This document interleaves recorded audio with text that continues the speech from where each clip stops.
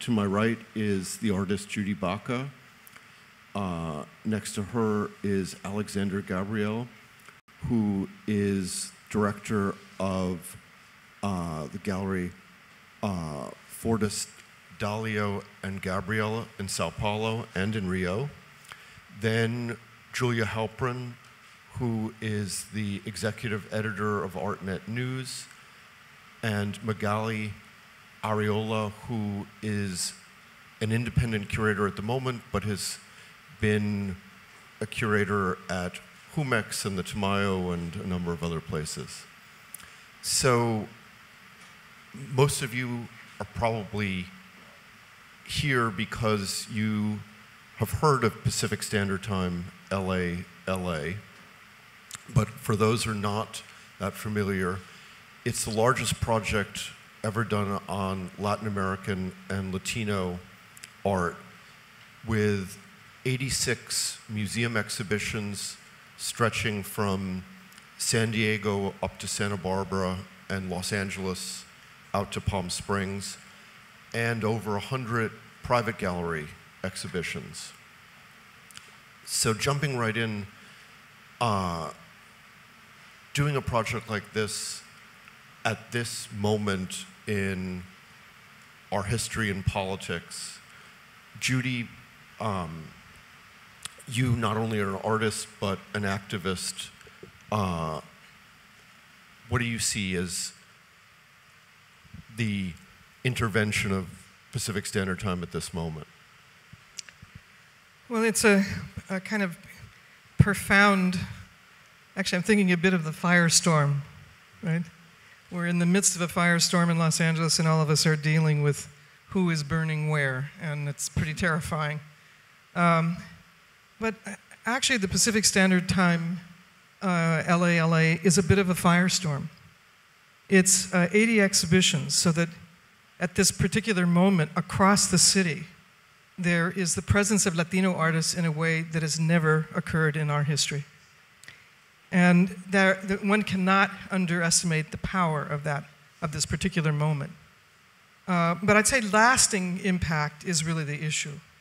Will this be a temporary fix? Will we see ourselves as the, um, the Latinos as a sort of add on? And, and, and I, I have to say that what's very important to recognize is that Los Angeles is a Mexican city. It's not necessarily a Latino city. And I think there's a confusion about that very often in terms of how things are perceived. And the curators uh, initially who were putting up exhibitions uh, were struggling against Chicano presence within those exhibitions, so there was a, a lot of uh, kind of a, uh, a, beginning of conflict as we, we went back and forth with these uh, curators developing the exhibitions. But Chicano presence became pretty profound through many of the exhibitions. What I want to say is that the most important impact of this series of exhibitions are its publications. Um, there's something like 50 books, is that right, Andrew? Yes. There, will be something like 50 pieces of scholarship. And it's very, uh, for example, the Radical Women's Show is bringing to the foreground at the Hammer women that have probably never been seen before or heard from before. And this will provide a resource that is really deep and rich. And I think that um, the other problem was, of course, through the whole uh, history of, of this, uh, the development of this exhibition, was the resources that were spent and distributed among various uh, museums and organizations. And um, the organizations that had historically, uh, like my own, for example, um, the Social and Public Art Resource Center, have been historically presenting Latino art over 40 years uh, were not necessarily part of this mix in terms of the presentation. So there was also sort of a, um, uh, an equal distribution of resources, unequal uh, distribution of resources to, to mount these shows. In some cases, uh, people had, uh, curators had two years and deep research and were able to, you know, do a really profound set of, uh, of digging into providing new information. but I think one of the big questions for us is how will this change? How will this make our city a different place? And how will this, in a sense, I feel a kind of moment of speaking back to a country that is, uh, has a very uneasy relationship to its population, both immigrant and those of us who are uh, angelitos to the core. So, Julia, um, quite a bit of the press, there was a big article, for instance, in The Guardian that called Pacific Standard Time the anti Trump project. What have you seen about the uh, critical response to the, the project and its political impact? Well, I think it was that was really the like first line that everybody came away with was it was this this sort of this moment of building bridges instead of building walls and uh, and I think it it's interesting because obviously this project was planned long before Trump was elected. It was you know the first proposals were made I think in the first grants were made in 2013 and so you know the the sort of original like you know intellectual rigor behind this was all happening beforehand. So I think it's in some ways, it, it, you know, it felt incredibly vital, and it felt, you know, I think that it did encourage people who maybe, you know, wouldn't have made it a priority to come immediately to really get there and see it. Um, but I also I feel kind of conflicted about it because I also don't want it to kind of oversimplify the fact that this would have been important whether Trump was in office or not. Uh, and it would have been addressing, you know, absences in, in history and in art history, whether he were in office or not. So I'm, I feel kind of conflicted about it, but I do think that it succeeded in making, uh, in, in kind of making it spread more quickly than, you know, and, than, and wider than it might have otherwise. I think that the, the sort of international press attention was was really intense in a way that was really exciting. And I was on the press trip to Pacific Standard Time, and um, and we were there with a lot of you know Mexican journalists and. Uh, and and other Latin American journalists and the a couple of journalists from the Mexican newspapers. There was such great demand for coverage of this that they had like three deadlines a day, uh, which is That's great. very you know it is not ordinary. And so I think that there, yeah, there was a lot more hunger maybe for to get this than there would have been otherwise. So, Magali, with Judy talking about uh, LA, which is very true as a Mexican, Mexican American city, and what Julia, what has been the reaction to the project in Mexico? I think, uh, as both Julia and, and Judy said, it's like, like a very important and instrumental project in the sense that, first of all, it allowed to, to do like tons of research that hasn't probably been done, at least, you know, like probably in Mexico. Uh, there's like many, Not many. even in our own countries. I mean, I, I think so. anywhere like in Latin countries America, like uh, maybe you know like Argentina. I think Brazil has done you know like a good coverage of their like historical background, but there's like many many lacuna in, in Mexican art history that haven't been you know like covered. So like very recently, for example. Two years ago, there was the, a show of um, Monica Mayer, who is included in the Radical Women show. But it's really something that has just like barely started, you know, in the last maybe three, four years. So, and maybe one of the reasons for that is that we, like, Mexican institutions, for example, didn't collect for a long time. So they didn't do like the proper research or we didn't do, you know, like working inside and outside the, the, institutions. There were like very, you know, like seldom people doing this work. So this is probably, you know, like a big help in one sense. On the other side, uh, I think it has to do with what uh, Judy said before. The idea of the context, you know, LA being like a Mexican city, but of course, you know, like the, the Chicano phenomenon is not like quite a Mexican phenomenon. So there's like all these, you know, like very different contexts uh, that you have to uh, take into account. And for sure, I think uh, one of the things that has been said is that this is like like the whole project, like uh, as a whole, you know, like initiative, is probably much more um, thought of as a, as a project for American, North American audiences rather than, you know, like Latin American audiences. And I think this is like a very uh, important, uh, you know, like thing to, to think about. Also because, you know, like if we talk about migration, of course, you know, like the, um, like the implications and the consequences of migration in both countries are very different. So that's also, you know, like something that we have to take in, into account. So, like, if we were, or when we are going to get, you know, like the, all that kind of research back through books and all of this, because not all of, all of the shows are traveling back to Latin America, that's probably something we have to, like, rethink about, I think, in a way. You know, like how to, how to, what to do with this research and how to work it and how to, you know, like re kind of implement it, you know, like because it's been done by, of course, you know, like Latin American creators, much of it. So that's also something, you know, like that has gone. I think it's going to have like, like larger repercussions, you know, like in the long term, as soon as we just like turn it back into. I agree. Yeah. So, Alex, I mean, the Trump phenomenon here is sort of overshadowed politics in much of the rest, but Brazil is going through uh, also a very difficult time, and especially as far as, as art is concerned. Yes, um, I when I was a kid in the 80s, uh, it, it, was still military dictatorship, and I don't remember, and I remember it quite well, but I don't remember living through a situation of censorship like we're going through right now. I mean, there's a they're trying to close down shows because of nudity. It's not even sex.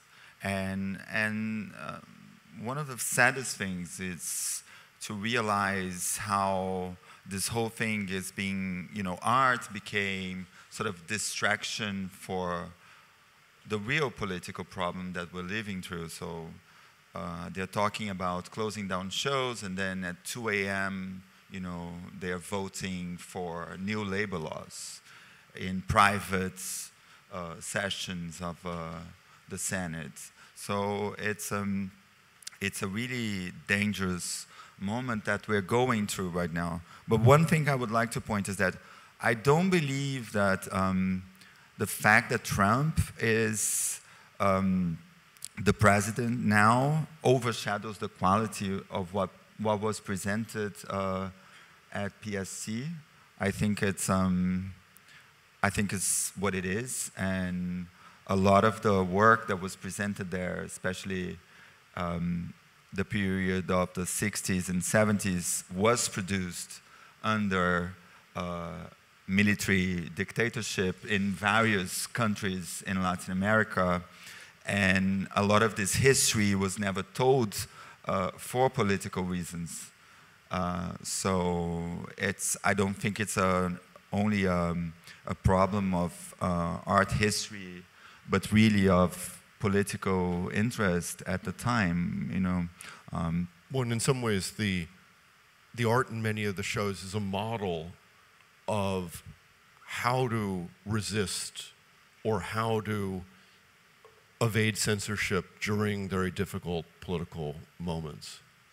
Yeah, and somehow I think I can only, I'm not an art historian, but uh, I can only talk from a Brazilian perspective, but either in music and literature and the arts, a lot of the poetics that had developed in, in the 60s and 70s was, you know, going, finding, you know, holes in censorship and finding new ways of having the messages delivered. And and I think that's a, that's a, that became somehow an important element for Brazilian visual arts and arts in, in general. All of you have talked about the thing that probably sets Pacific Standard Time apart from most other museum or exhibition projects, which is the length of the research and uh, and maybe the depth of the research. And Julia, that's something I know you've written about. Do you want to start about that? Yeah, I mean, I think it's the you know the the thing that that really makes it different is that um, curators had they had grants for um, research, and then they had grants that were called implementation grants. So they had two rounds of grants, and you know, in some cases, three years between them to to do research, and that meant that they had time to change their mind. And in a lot of cases, they did. Um, so, you know, for example, the Radical Women show was originally just going to be uh, Latin America, and then, you know, through these conversations and through research, they decided to include um, Latina and Chicana artists as well. Um, and the home show at LACMA actually went the other direction, um, where I think they were, it was originally going to be just uh, Latino and Latina artists, and they decided to expand it out to include um, Latin America. And so, you know, I think it's it's the kind of thing that you that, that curators always wish could happen, where they have time to think, okay, this is what I want to do, and then they have the opportunity to research and then change their minds. yeah. Um, and but so rarely, you know, you're so constrained both financially and with time that you kind of have to figure out a way to make it work. And so I think that was something that really shone through a lot in in the rigor of the shows. I think a lot of the geographical uh, boundaries that would set the research in the first case would change. You know, even the choice for, for instance, the monographic shows, the two Brazilian artists that had museum shows with Valeska Soares, who's an American citizen, Brazilian born, and Anna Maria Maiolino, who's born in Italy and is Brazilian. Uh, so it's like, I think a lot of this, you know, first geographic labels were, you know, put in a more complex perspective through, a, because of the research quality and, and time. And Judy, what? I mean, one of the things that uh, has certainly not been the case for many years is the ability to do, or a lot of research being done on Chicano and Chicana art, and the ability to present that to a wide public. Yes, I, I, think it's, um, it's interesting because there was, uh, in some curatorial resistance, I think there was, there was a lot of talk um, as uh, um, PST was developing and uh, some grumblings from our communities about how uh, we would be represented or not represented. Um, even to the fact that our opening night there wasn't a one piece of Mexican food in the at, at the Getty. Uh, everybody else was represented, but where are the tacos, right? um, so uh, yeah, so there was a lot of the, that. But what's really what's really fascinating is that the Chicanos early on. I mean, thinking about Rupert Garcia and the Borders Show, for example, uh, a 1970s work was as relevant today to the other works represented as any other artist. I thought one of the things that was resonant was that um, even though some of it was 60s and 70s, it was absolutely relevant today, uh, absolutely current. So what you were looking at is, I don't know whether it's artists' approaches to the same kind of period, or in fact, um, those of us Chicanos, those of us uh, American-born Mexicans, have been dealing with the issues of borders. We have been dealing with the issues of migration. We've been dealing with the stories that are um, the American story, essentially a very essential American story for all of our lives. So there was a body of work that started to become clear and evident. Um, I think probably not represented as much as it should have been, uh, because I knew of many other works that could have been within those shows. Um, but I was very pleased to see the quality of the work selected and that there was a kind of resonance throughout them of um, timely, timely work, even though some of it was really historical. So, Magali, obviously PST doesn't come out of a vacuum. It builds on the work of many others, scholars, curators, gallerists who supported artists. Can you talk a little bit about that history and some of the major exhibitions and, and people who really are uh, a precursor to Pacific Standard Time?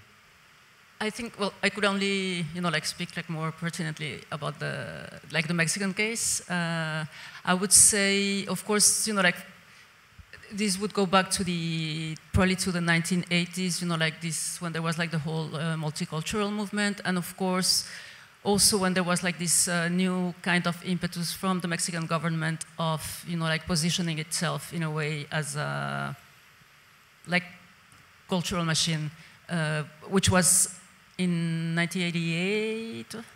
Yes, uh, when they did the the big show at the Met, the 30, um, 30 centuries of splendor. 300 years. 300 30 siglos, yes. And uh, so that was like a very particular moment, I would say, which was questioned a lot from Mexico. And I was just like reading, recent, reading recently, for some other reason, um, one of the first uh, sessions of the, um, the first FITAC, which was like this uh, big symposium that still continues uh, on contemporary art, which took place in 91. And so Edward Sullivan was part of the, um, of the symposium, and he was actually, it was interesting to see how, again, you know, like this, um, these kind of initiatives are, are seen in a very different manner, you know, like in the US and in Mexico.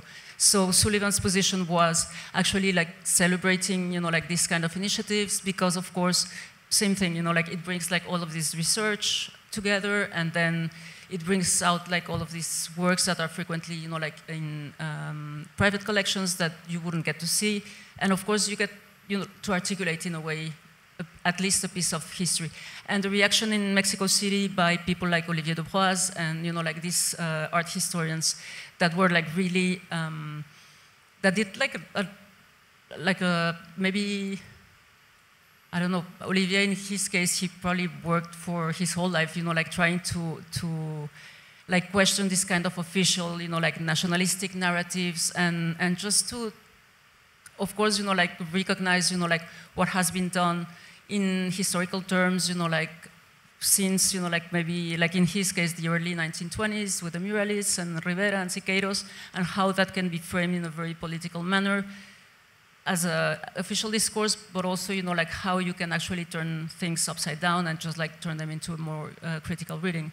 So I guess that, that was like a very, you know, like uh, important period, like the 80s and 90s both because of these clashes, I would say, you know, like the, there was like a kind of official narrative that then evolved into neo-Mexicanismo, which is also like very tied to, to identity issues, to gender issues. And then somehow, I think, for many reasons, which probably have to do with, uh, I guess, just like contemporary history and political history, you know, like Venezuela just like kind of disappearing off the map. Uh, I guess uh, Mexico also somehow just like turned around, you know, like there was like a, a, very strong relationship with Latin America in the 80s and 90s. And then at some point, there was like this sort of hype about Mexican contemporary art. And I think Mexico just like turned around towards the States and Europe. And there was like a kind of, um, I don't know, like a break with uh, the relationship with Latin America, which is like really, like a really interesting phenomenon, like a really sad one too.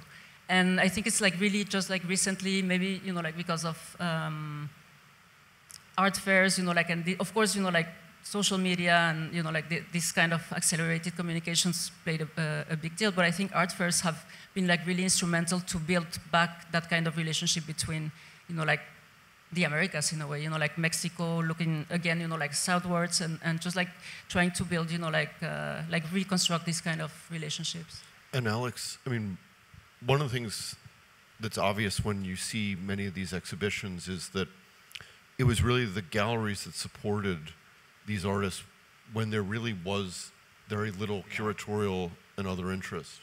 Yeah, um, um, I, I was surprised to when I got the invitation to be in an art fair under the institutional talk umbrella.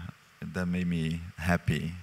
Uh, and I think, and we were talking about it, um, I think you see uh, in many of the shows, especially during um, this the 60s and 70s um, period, uh, the importance of some of the galleries that were really brave. Um, I mean, Luisa Strina opened her gallery in 1973 in Sao Paulo, and she was working with Cildo Meireles, with Antonio Manuel, with all this, you know, hardcore political uh, action, and she had to deal with the police a lot at the time. So it's uh, it's really, you know, not what is expected from a gallery in today's uh, perspective.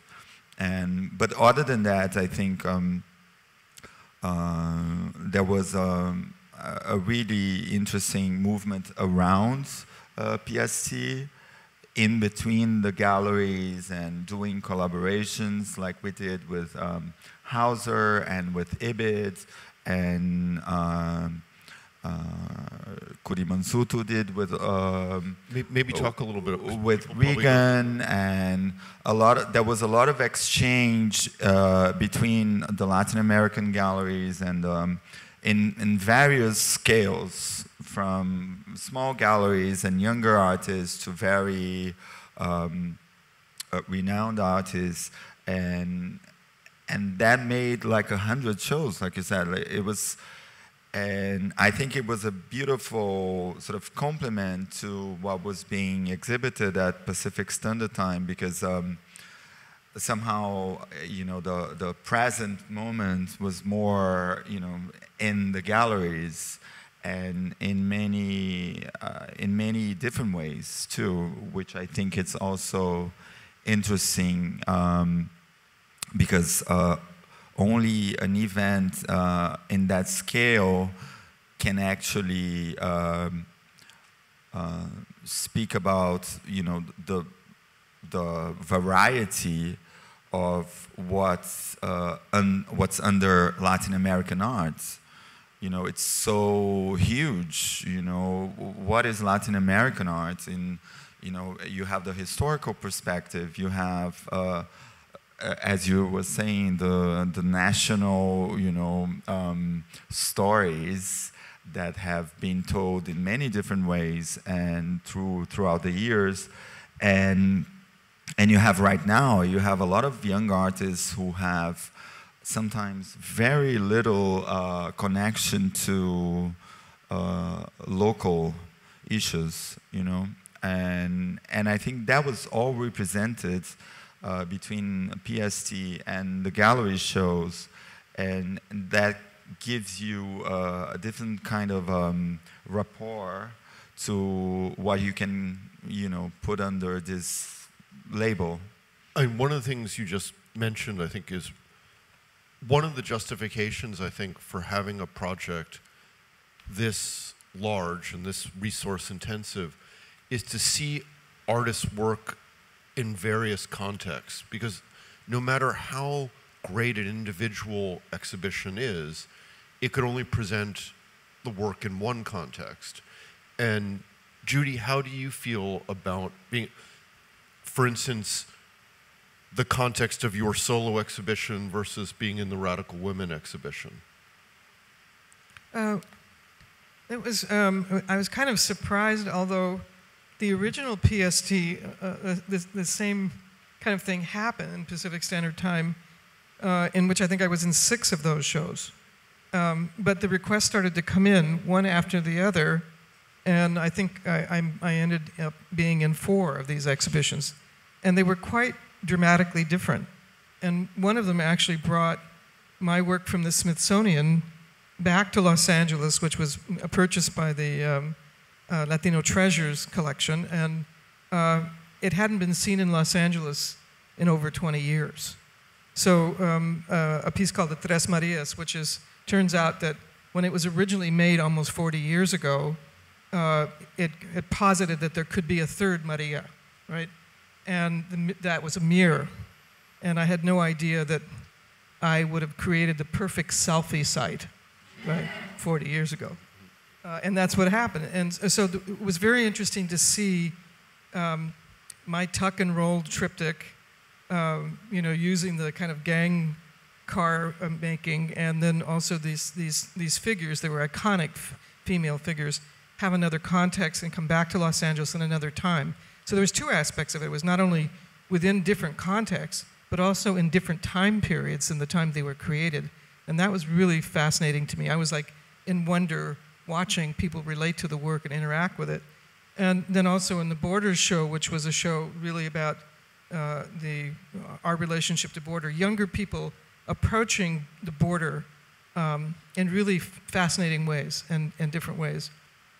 That was really interesting to me. So I was actually learning a tremendous amount watching my work in these different contexts.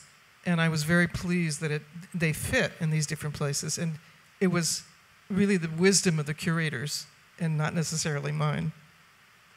So, thinking a little bit about what the legacy of Pacific Standard Time is going to be, I mean, Alex, I think you have five artists in different Pacific. Okay. So maybe you could talk a little bit about that and how you see this impacting their careers. Well, I think um, we have four artists in the museum shows with uh, one solo show and one, two, three, ten, seven, and five group shows, two solo shows in, in galleries. And of course, with uh, with the PR and the promotion that you have to all of these shows, this is really important to them and to us.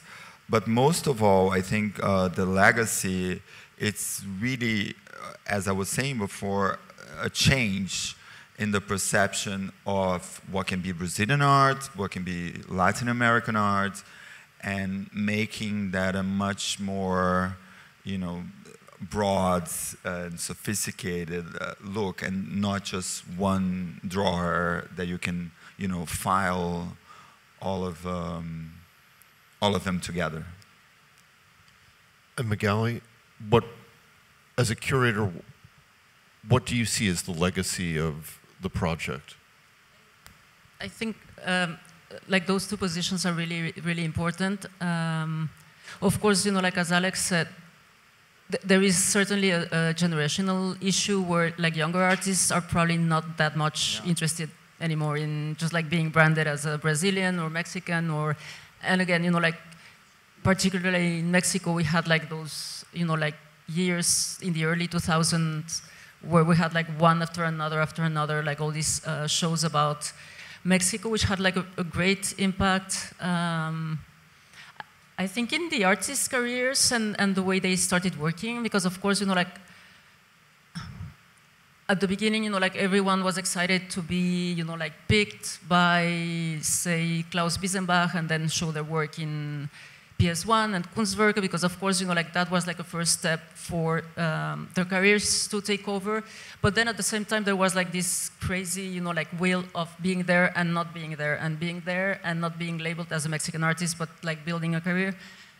And of course, you know, like many of them, and that's a reality, were working with, you know, like very specific issues uh, related to the context.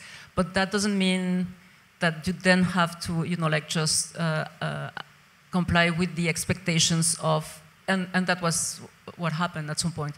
So of course, you know, like after a few years, I think people were just like, you know, I'm not going to be part of this. So, and, and it's probably like a kind of, how do you say that, like initiation right that we had to go through, you know, like, and, and it was like a very tough moment, you know, like in Mexico because it was like very, you know, like, it created like all sorts of stories and, you know, like people were like really, you know, as we know in Mexico, people can be like very, you know, like tough in the reactions and stuff.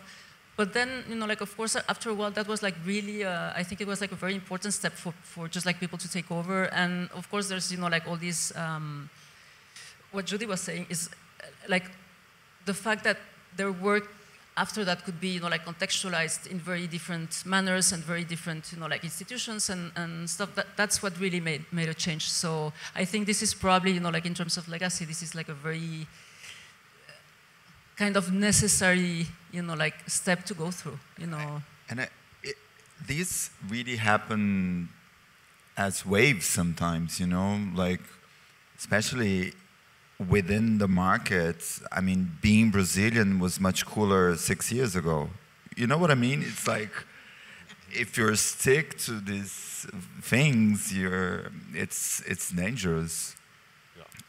So, um, since we're at an art fair, and the the main reason for PST is we've all been talking about is the research, the scholarship, the publications, the legacy, but it's undeniable that the first one had a major, the first Pacific Standard Time had a major impact on the market. And Julia, I was wondering if you could speculate a little bit on what uh, impact this one is going to have. Yeah, I, I've been thinking about it. I mean, I think it's going to be a little bit less direct than the first one. I remember right after the first one, Christopher Knight wrote in the LA Times that it was that it served as like an inadvertent shopping list uh, to assemble like an amazing, you know, post-war collection of, of California art. I don't I don't think it's the same. First, because it's so sprawling, and also because a lot of this work is, you know, ephemeral or or ephemera um, more than maybe the first one. Um, but I do think you know, I, I have often come back to uh, thinking about what a couple of professors of Latino and Latin American art told me before PST, which was that, you know, a lot of what we have seen in the past is um, work that had strong collector support. So it came from countries where there were rich collectors. And so you saw less, um, you know, work from Peru, from Chile, from, and you saw also less Latino and Chicano art because there just hasn't been that kind of, um, of support in the market. And so I think what this does do is show that, you know, you're not, we're not seeing that stuff because it doesn't exist. We're not seeing that stuff because there are sort of structural reasons why. And so if this can show people you know, there are artists there that you should look at, and, and, and I think, you know, if that has a, a sort of market reverberation too, that's, that's a good thing. Well, I think we've reached the point where we should open it up and hear from the audience. So, uh, any questions?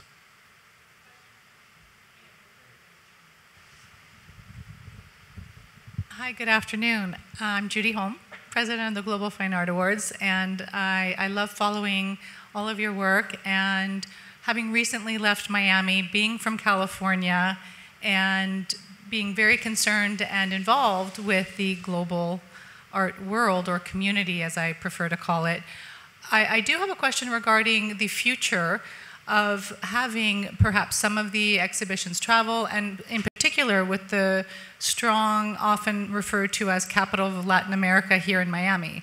Have any of you considered reaching out or creating uh, wave two, perhaps, of, of some of the beautiful work that you've created in California?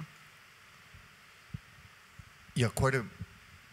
For the first Pacific Standard Time, we really wanted people to travel to Los Angeles because that was not something that uh, people did as much as they came to New York or London or even Chicago.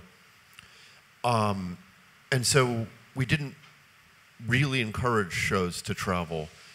In this case, and particularly because it's a dialogue between Latino, Chicano, Latin American art, um, there was much more encouragement, and a great many of the shows are traveling. The um, one personal sadness is not as many of them are traveling to Latin America as um, I would have hoped. I mean, there there are some memories of underdevelopment uh, is going to uh, Museo Jumex and uh, Museo de Arte de Lima. Um, the Pinacoteca in Sao Paulo is taking the Radical Women show. But partially, of course, the economic situation and a lot of. Some of them were canceled, no? Yeah. Some of them, I don't know if canceled, but didn't go all yeah. the way through. And, um, you know, that that's something that uh, I hope in the future. I mean, the good part was that almost every project had curators and scholars from Latin America involved in it. the the less good part is that uh, not as many people in many of these countries will, but the shows are traveling very widely in the United States.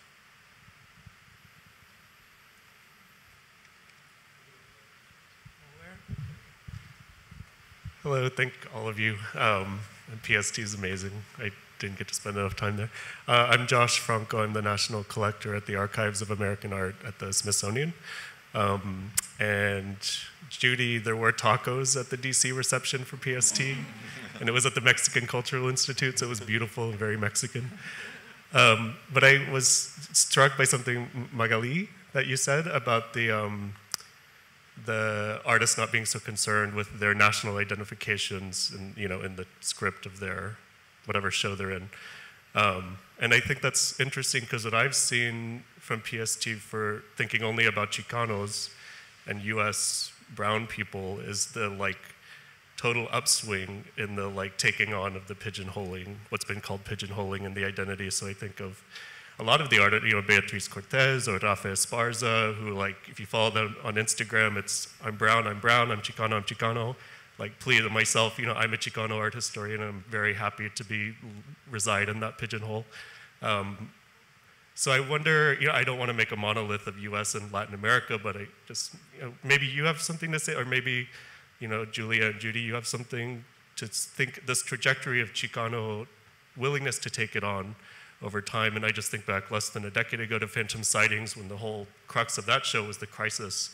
And all, the artists, like it was hard to get those artists to even be in that show because it was as much distance as the curators put to Chicano, it was too much for a lot of them. Um, so I'm just interested in how you think PST will affect that moving forward. Yeah. I don't think I'm, you know, like the most uh, adequate person to talk about Chicanos because, again, you know, like maybe this answers your question. You know, like I'm from Mexico, and I think, as I said at the very beginning, you know, like all these um, issues of migration, I think it's really, it's really interesting to see how, how they just like take different dimensions. You know, like on each side of the border. Because if we talk about, you know, like migration, say from Mexico, and of course you can go south, you know, like Central America, and which, you know, like I'm sure that the issues are very similar what that means, or like even, you know, like Ecuador, you know, like what that means in Oaxaca or those, you know, like very poor countries is that, you know, like many of the men are gone. So it's less about identity issues than, you know, like much more practical concerns. Whereas, of course, as soon as you get north of the border, that's, that's what becomes the, the, the main issue. Even so more, you know, like when you get like different generations, you know, of uh, Latinos and Chicanos, and you know, like many of them, you know, like I'm very good friends with Rita, and I remember when she did the Phantom sightings, you know, like talking at length with her, and uh, because her show came to the Tamayo afterwards, after uh, LACMA. And so she was like really worried again, you know, like on about how to contextualize it. And I was just like, I'm absolutely clueless, you know. I didn't, I, I just, at that point I had just moved to, to Los Angeles from Mexico City so I wasn't like really, you know, like uh, acquainted with the, the LA scene at that point. But I was just telling her, you know, like this is like an absolutely new phenomena for me. Because we don't, we're absolutely not in contact, you know, like with, with Chicanos in, in, in Mexico City to start with, you know, because it's like a big, you know, like urban setting, and you know, like maybe, you know, like not maybe, but I'm sure, you know, like most of, you know, like the, the migrant population doesn't come from big cities. You know, it really comes from rural areas. And then, of course, you know, like their, their lives completely transformed once they are in the States. So it's really, you know, like, I think it's like two different, um, like completely different um, visions in a way. And, and again, you know, like migration, you know, like for, like south of the border is like, uh, I think it's really like a very, it, it implies like very different um, issues and consequences. Judy, I think I should give you the last word on, on this. And migration, yes. Um, well, you're talking about the lasting impact and also this issue of um, the perception on both sides of the border. There has been historically a really difficult um, uh, relationship between uh, Mexicanos and Chicanos, uh, both art historically, because um, there was a, a tendency, the shows that, the, I, I just use myself as an example because I think uh, Chicano art crosses a lot of, it's multifaceted and it crosses a lot of different territories. And in the piece that I, I created, this uh, tres uh, panchos that are um, three different figures. They're, they're Mexican kitsch objects that I've intervened with, and that was in the border show. And it was in the, uh, it was called uh, El Otro Mexico. The show was called El, Otro Mexico, and it traveled for five years. In Mexico, they were absolutely demeaned.